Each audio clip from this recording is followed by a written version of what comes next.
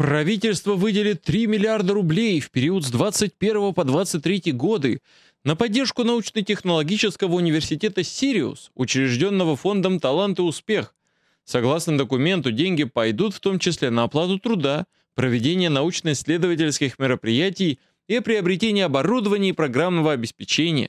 Научно-технологический университет «Сириус» был создан по инициативе Владимира Путина – на базе олимпийской инфраструктуры в Краснодарском крае. Подождите, подождите, подождите. Что там за олимпийская инфраструктура была? Стадионы, горнолыжные трассы, а, гостиницы. Причем тут университет. То есть они настолько продуманно готовились к Олимпиаде, что просто не знают, что теперь делать с этими объектами, а давайте сделаем университет. Фишка-то в том, что у нас такие университеты уже есть. У нас в Ближнем Подмосковье создано Сколково, знаменитое Сколково, потрясающее. У меня там э, много э, учеников, э, с которыми я занимался как репетитор как учитель, они побывали в Сколково, учились там. А, мягко говоря, не самая лучшая контора. Фальсификация на результатов научных данных, а, не-не, конечно, зарплату там платят хорошую, лучше даже, чем в МГУ. Многие переводятся как раз из МГУ в Сколково, если хотят повыше стипендию, повыше зарплату. Все-таки это структура Сколково близкая к правительству, близкая к олигархату, там как бы есть возможности. Но толка для нашей науки, для нашего образования никакого. Путину этого мало, он решил замутить еще одно Сколково, на этот раз в Краснодарском крае. Если, друзья, вы хотите получать более высокую стипендию, можете своего ребенка или сами отправиться учиться именно в этот университет. Сейчас там, наверное, пусто, конкурс небольшой, место еще не раскрученное, вакансий будет много, а, заканчиваете аспирантуру, сразу становитесь научным сотрудником, без проблем, вперед из песней. Но я как избиратель, я как налогоплательщик спрашиваю, какой в этом, мать вашу, смысл? Учредил университет фонд «Талант и успех», в управлении которого находится несколько спортивных объектов, построенных к Олимпиаде. Одним из учредителей фонда является виолончелист, друг Владимира Путина Сергей Ралдугин. Сам же Путин является главой попечительского совета фонда. В 2016 году Международный консорциум журналистов-расследователей после утечки Панамского архива выяснил, что до 2015 года Ролл Дугин владел офшорными компаниями с оборотом в несколько миллиардов долларов. А, не, ну если нужно было просто другу Ралдугину подкинуть, э, чем заняться, куда деньги пристроить, ну тогда я понимаю, тогда в этом, конечно, есть смысл. После расследования открытых медиа Нотариальная палата удалила сведения об инвесторах фонда Ксении Шойгу.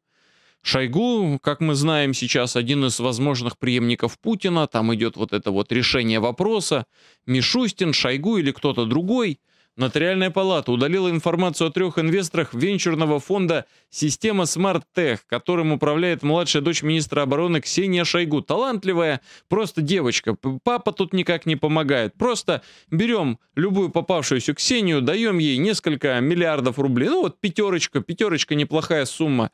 Не миллионов, друзья, миллиардов. А запрещенные в России открытые медиа, нежелательная иностранная организация, разослали запросы Шойгу и партнерам фонда о деталях их сотрудничества и опубликовали расследование о бизнесе семьи министра обороны. Фонд-система Smart Tech был создан в 2020 году, его объем 5 миллиардов, управляющий партнер Ксения Шойгу, а якорный инвестор – АФК-система Владимира Евтушенкова, обещавшая вложить до полутора миллиардов рублей. Подробности всей этой истории я вам уже рассказывал. И вот она ответочка от государства. Как только информация стала распространяться, опа-опа, все хвосты подчищаем – Шойгу ни при чем, никто ничего не знает, это засекреченная информация, подождите. А как это э, секретная информация? Шойгу же младшая, это у нас просто бизнесмен, правда? Это не чиновник, это не прокурор, не судья. На каком основании данные о ней начинают секретиться? Нет, я понимаю, когда это происходит э, с данными о депутатах, о госслужащих. А это как объяснить? Папа тут никакой роли не играет, нет? Следующий представитель элитки нашей ненаглядной, сын Виктора Золотова, хочет сделать деньги на свалке шин. Роман Золотов, приходящийся сыном главе Росгвардии, владеет более чем третью акций сомнительной компании НПУ «Квантовые технологии». Квантовые технологии будут заниматься мусором. Отлично. Безусловно, независимый и честный делец хочет заняться ликвидацией свалки шин под Нижневартовском вслед за уже удачно освоившей бюджет компании «Экос», которая блестяще провалила работу. Неизвестно, какие квантовые технологии предприятие намерено применить или разработать на свалке шин, зато известно, что компания ни разу не участвовала в госзакупках. Также у нее весьма сомнительные финансовые показатели. В 2019 году чистая прибыль фирмы ушла ниже нуля до отметки в 27 миллионов рублей, а годом позднее совершила отрицательный рост в 45 миллионов рублей. В штате числится всего 11 человек. Кажется, у нас есть победитель. Если вы все такие народились талантливые бизнесмены, почему для ведения бизнеса вам необходимо присасываться к бюджету? Ну работайте вы там между собой – посредники между олигархическими компаниями, между физическими лицами, мелким и средним бизнесом. Работайте как все. Зачем вам бюджет, если вы такие способные? Нет, не, нет объяснения этому. Все очень просто. Пока олигархи делают деньги, чиновники помогают им делать деньги. Когда чиновнику тоже хочется денег, Чиновник пристраивает своих родственников или сам выходит с должности, пристраивается в олигархическую компанию, и уже теперь олигарх его отлично кормит. Это позволяет разнести немножко во времени а, такие вот коррупционные действия, обосновать. О, так у меня дочка, у меня сынок, у, у меня племянничек заработал там 10 миллиардов. Это не мои деньги, это его деньги. Именно отсюда у меня появились яхты, частные самолеты, квартиры в центре европейских столиц. Вот как это работает. Таким образом, сейчас они пытаются прикрыть коррупционные составляющие. Бывший губернатор Тувы, губернатор, представляете, этот человек был главным в целом регионе. Шалбан Караол стал заместителем гендиректора Русгидро и будет курировать связи с общественностью и госорганами. В его зону ответственности также входят вопросы реализации и развития стратегии Русгидро на территории Сибирского федерального округа и координация мероприятий по переводу исполнительного аппарата компании из Москвы в Красноярск, который должен состояться в течение ближайших нескольких лет. Вот, губернатор хорошо трудился в своей должности, и теперь попал куда? В олигархическую компанию. На месте следователя я бы э, с интересом присмотрелся, что-то у него, у него со счетами, с имуществом, с недвижимостью. Не было ли ему до этого интересных подарочков, каких-то денежных переводов, поступлений со стороны вот этого Русгидра? И наоборот, Русгидро не получал ли каких-то подозрительных преимуществ со стороны уважаемого губернатора? Не помогал ли он им а, лоббировать какие-то проекты, инициативы? На бывшего замглавы Федеральной службы исполнения наказаний Валерия Максименко возбудили еще одно уголовное дело о получении взятки. До этого он говорил, что ему стыдно работать в ведомстве. Вот, честно говоря, здесь я немножко теряюсь, как именно интерпретировать эти события. То есть все выглядит так, мне так кажется, как будто бы господин Валерий Максименко не хотел особо участвовать в грязных, в грязных делишках. Он стал об этом высказываться, уж не знаю там по каким причинам. Он начал говорить, что ему стыдно работать в ведомстве из-за того, как оно устроено, какая там коррупция, как там притесняют права граждан. И в итоге быстренько нашелся на него компромат, потому что на каждого высокопоставленного чиновника в этой системе принято иметь папочку. Ты работаешь, становишься замначальника, начальником, идешь выше по карьерной лестнице, на тебя собирается компромат. Ты пока что не арестовываешься ни за коррупцию, ни за какие-то там твои пьяные а, похождения, там езду на машине, там сбил человека, не сбил, там что угодно может произойти. Пока ты системе нужен, тебя отмажут от всего. Пошел против системки, начал трепать языком, тут же на тебя возбуждаются уголовные дела. Мне кажется, вот так ситуация обстоит. Как утверждают следователи, Максименко получил взятку в виде аренды дома на Рублевке. Вдумайтесь, он не получил этот дом в подарок. Ему просто дали в этом доме пожить, а аренду он не платил.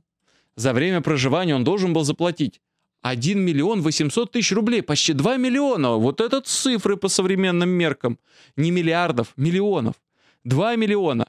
Но бывший замглавы ФСИН и его близкие якобы жили там безвозмездно. С декабря 18 по август 19 года за жилье, по утверждению правоохранителей, платил руководитель организации, которая была подрядчиком ведомства Максименко. Именно такую схему и квалифицировали как взятку.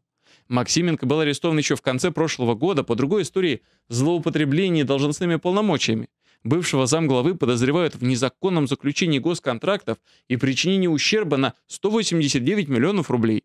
Свою вину он так и не признал. Ну хорошо, подождите. Если человек коррупционер, очень легко же найти какой-то счет, какую-то там незадекларированную недвижимость, автомобиль, яхту. Где это все?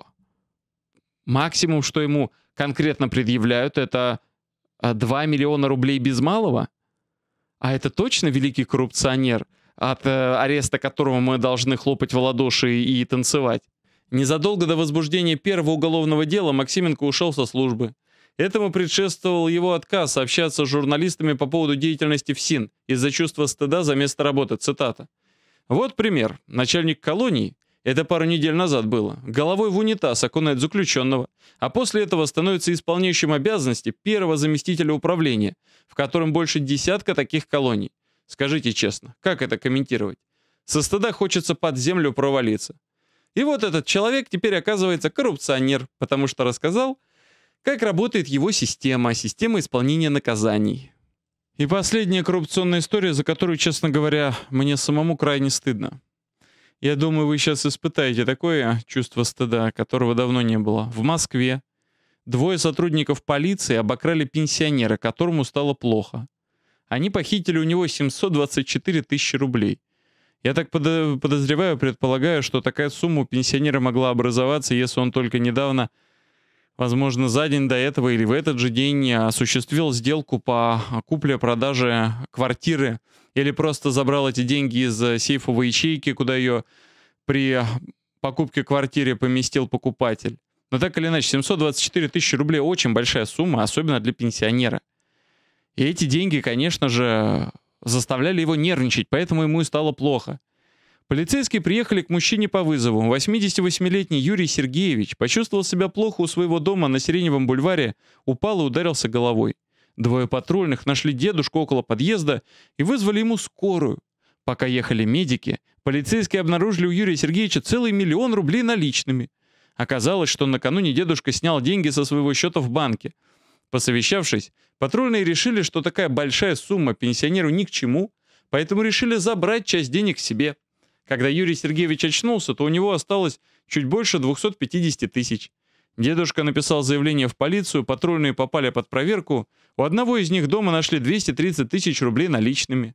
Сотрудники скорой, которые приехали на вызов, стали свидетелями в деле. Уже будучи под следствием, патрульные предлагали с ними поделиться, чтобы те не давали против них показания. То есть нет бы в последний момент как бы признаться, постараться, все решить мирно. Не-не-не-не-не-не. Они усугубили свое положение. Они попытались еще дать взятку. Сейчас полицейские находятся в статусе подозреваемых, свою вину они не признают. Они даже врачам пытались дать взятку. Здесь явно все понятно, что произошло. Они пытались выгородить себя. Если бы они не а, пытались обнести пенсионера, не своровали у него 700 с лишним тысяч, то не нужно было давать взятку. Ну, как детский сад какой-то. Вот я чувствую себя учителем, который застукал двоечника там за списыванием, и вот такие вот оправдания идут, а договорочки. Типа я ни при чем, оно само, это вообще не моя шпаргалка. И так вся страна. И так мы живем. Нас обворовывают самыми неприглядными способами за повышение цен на бензин, повышение акцизов, налогов, сборов, ужесточение – Э, той такой секой политики. Мы должны теперь платить постоянно сборы за мусор. Нам нельзя собирать в лесу хворост. Все денежки стекаются в бюджет, а к бюджету присосались и олигархические структуры, и чиновничьи структуры, и дети чиновников, и нашего главы Росгвардии Золотова. А потом мы удивляемся, почему там Росгвардия себя так или иначе ведет. Да вот, почему она так себя ведет. Потому что Оказывается, там в руководстве сплошь бизнесмены. Простите, родители успешных бизнесменов. То же самое путинские друзья. Что бы нам сделать? Мы так все продумали. Мы создали спортивные объекты к Олимпиаде, к зимней Олимпиаде. Может быть, там стоит как-то организовать детские лагеря, спортивные школы, чтобы дети постоянно туда приезжали, тренировались, занимались. Нет. Откроем там университет. Почему? Зачем? Логики в этом никакой не понимаю. Но, видимо, она должна быть, она, очевидно, там есть. Друзья, что думаете обо всей этой стыдобе? Пишите в комментариях, ставьте лайки, делайте репосты. Вместе мы сила, вместе прорвемся. До новых встреч. Спасибо. Пока.